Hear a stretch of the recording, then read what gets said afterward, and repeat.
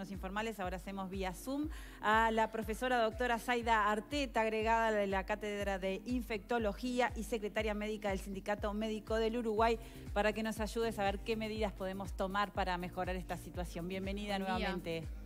Bienvenida y feliz día también, ¿eh? Sí, feliz día también, porque hoy es el Día Internacional del Médico, se conmemora eh, hace muchos años, es el nacimiento del doctor Carlos Finlay, que fue quien descubrió el mecanismo de transmisión de la, fiebre amarilla a través del mosquito Aedes aegypti en los años 1800, no me acuerdo 1800 cuánto. Este, es un investigador cubano de esa época. Saida, para comenzar, eh, consultarte qué te, qué te parecieron las medidas anunciadas por, por el gobierno para intentar frenar esta escalada de casos que se dio en los últimos días.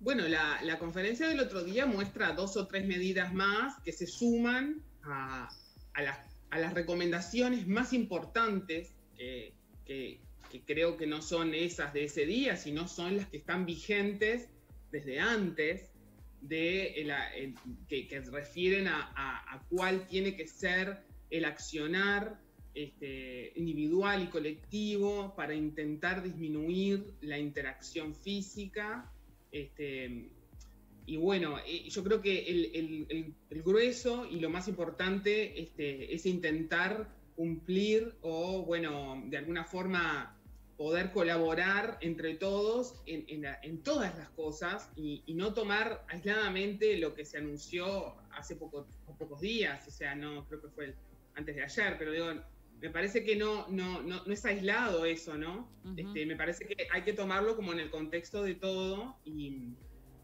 y bueno, nosotros en realidad este, el análisis y, la toma de las medidas entiendo que se hace este, en el, dentro del análisis del número de casos, del análisis de los brotes, de dónde están la cantidad de, brotes y casos que están sucediendo.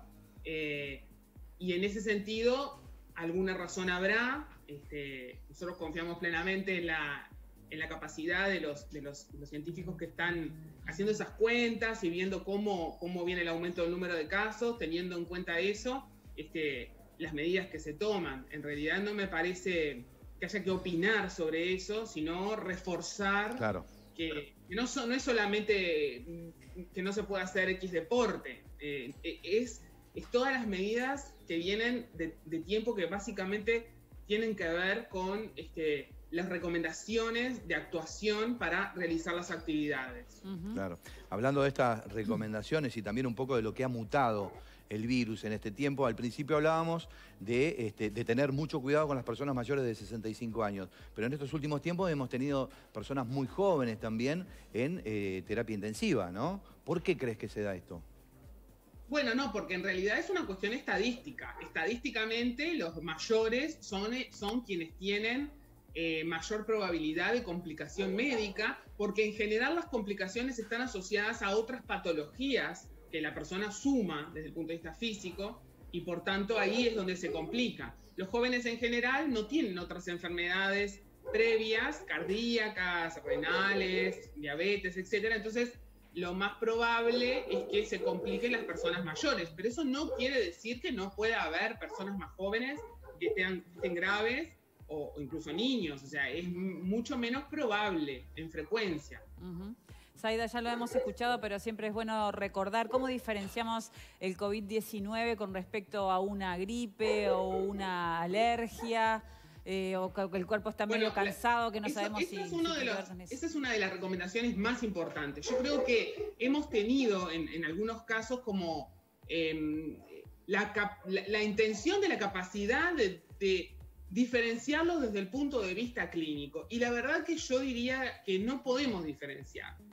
este, hasta en una persona alérgica, que es alérgica y que tiene alergia, rinitis, etcétera, muchas veces es difícil diferenciar el inicio de un resfrío o de una virosis de los síntomas de alergia. Por tanto, cualquier síntoma, a, pesar, a menos de que sea cualquier síntoma mínimo, un poco de rinitis, un poco de picazón de garganta, por supuesto, tos, fiebre y todo lo que ya sabemos, ¿no? Un malestar general, eh, diarrea, algo que uno diga, me siento mal, es necesario consultar. Y si queda la duda, es necesario hacer el hisopado. Ante el más mínimo síntoma, uno de los objetivos este, más importantes es tener accesibilidad a los test para poder rápidamente dilucidar si la persona tiene COVID o no. Y muchas veces se minimizan los síntomas, pero no es malintencionadamente. Las propias personas y hasta los médicos a veces dicen, oh, no, esto debe ser alergia, es una persona alérgica. Y hasta hay colegas que nosotros tenemos que, que son alérgicos y pensaron, no, esto es, siempre lo mismo, y era COVID. O sea, hasta el más mínimo síntoma no debe ser desestimado, debe ser este producto de consulta e incluso de hisopado diagnóstico. ¿Cuándo se genera inmunidad?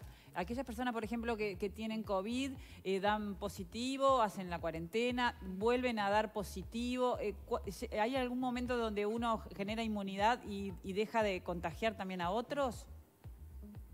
Bueno, son como varias preguntas en una. La, transmisibilidad de la, persona que tiene COVID en general, en personas sanas que tienen COVID leve, que están en la casa y que lo que, lo que llamaríamos como si fuera una gripe común, a los 10 días del inicio de los síntomas, 10, 14, ya no transmite la infección, independientemente de lo que dé el resultado del hisopado. Por eso ya no se hace hisopado para dar el alta, para decir, tú ya estás curado en realidad se cuentan los días, si la persona mejora y ya pasaron 10, 14 días, ya está, no transmite más la infección.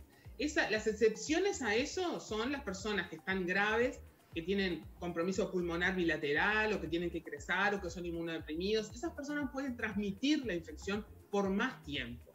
Esa es la capacidad de transmisión de la infección. O sea que este, hay un periodo que se transmite cuando uno es asintomático, antes de empezar los síntomas, puedes permanecer asintomático y transmitir o puede empezar con síntomas. El tiempo que transmite es hasta 10, 14 días después de iniciados los síntomas. En el caso de los asintomáticos, ese tiempo se cuenta a partir del hisopado positivo. Si yo me hice un hisopado porque fui contacto, estoy asintomática, fui positiva, 10, 14 días después ya no transmito. Puedo salir, ya no hay posibilidades de transmisión a otras personas. Otra cosa otra cosa es la inmunidad. La inmunidad son los anticuerpos, y son proteínas que circulan contra el virus, que se puede generar naturalmente cuando tuve la infección o a través de la vacunación.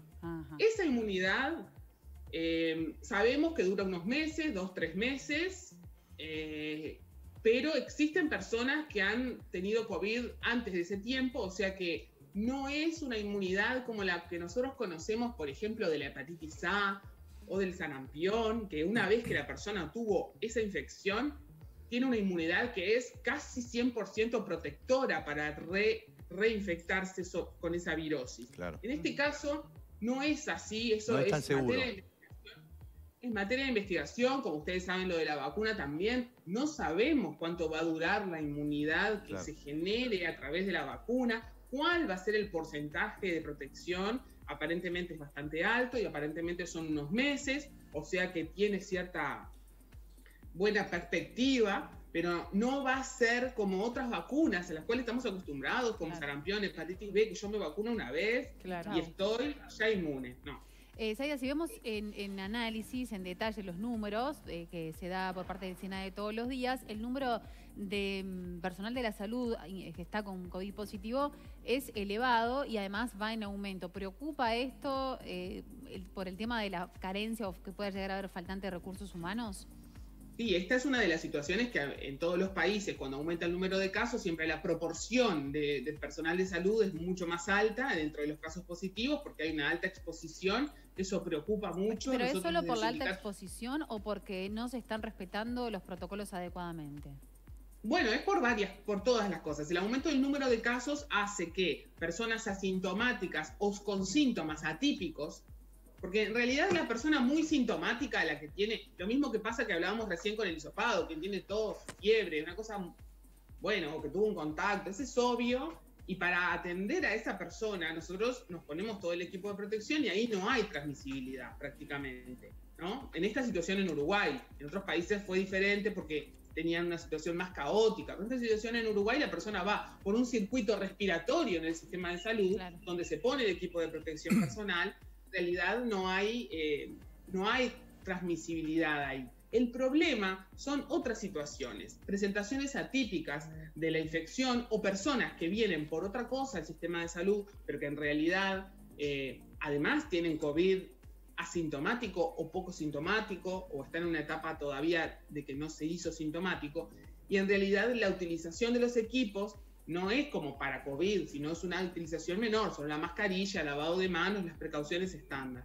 Entonces, ahí es donde puede haber transmisibilidad. También existe transmisibilidad eh, en el personal de salud, eh, en, los, trabajos, como ha habido la mayoría de los brotes que están reportados en Uruguay, en realidad son en relación al trabajo y en relación a las reuniones, pero hay en relación al trabajo, porque hay sitios de trabajo que por más que uno eh, intente cumplir con todas las recomendaciones, los espacios físicos a veces no son lo más adecuado, porque son chicos, porque son muchas horas, porque se habilita el teletrabajo, pero no es posible todo el tiempo. Entonces, la exposición puede ser tanto eh, a pacientes con, COVID o puede ser también entre personal de salud eh, que está trabajando en, en, alguna condición que no es de la más adecuada, ¿no? Con consultorios sin ventana, ese tipo de cosas. Entonces, por múltiples variables, el personal de salud tiene una proporción mayor.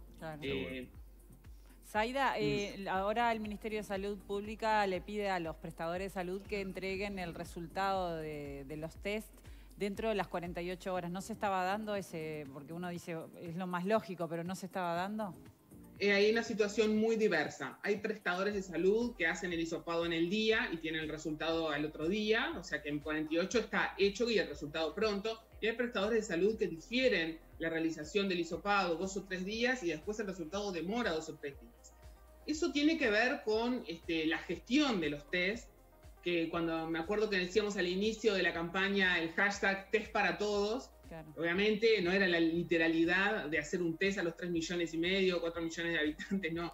Era simplemente tener acceso real al testeo rápido y con resultado rápido, de forma de poder tomar decisiones rápido. Porque si yo estoy una semana de incertidumbre, decir, bueno, voy a hacerme el test, no sé, después Ahora, los 15.000 que pretende el gobierno diarios suena un poco ambicioso, ¿no? Es ambicioso, pero el Uruguay lo puede hacer. El Uruguay tiene una plataforma de científicos que si nosotros la reorientamos a testear, perfectamente podemos llegar a esa cifra. Este, acá voy a citar a mi, a, mi amigo Moratorio, pero realmente podemos llegar. Este, digo, eh, de hecho, hoy llegamos a este número también por, por, básicamente por la colaboración de los científicos en Uruguay. Entonces yo creo que tenemos que utilizar las herramientas que tenemos, reorientar los laboratorios que tenemos para hacer diagnóstico. Esto es muy difícil porque gestionar esto es difícil porque, pero bueno, estamos en una emergencia sanitaria. Este, claramente ese es uno de los factores que quizás también nos ha colocado en esta situación, que el testeo es mucho mayor, pero la proporción de aumento que deberíamos haber eh, tenido quizás sea mayor de la que tuvimos. Entonces ahí hay una brecha que debemos corregir. Tal cual. Saida, te vamos a invitar, si te podés quedar un poquito con nosotros, tenemos que hacer una pausa. Eh, después de la pausa seguimos charlando, ¿sí? Sí. Gracias. Hacemos la pausa y ya venimos con más desayuno. Dale.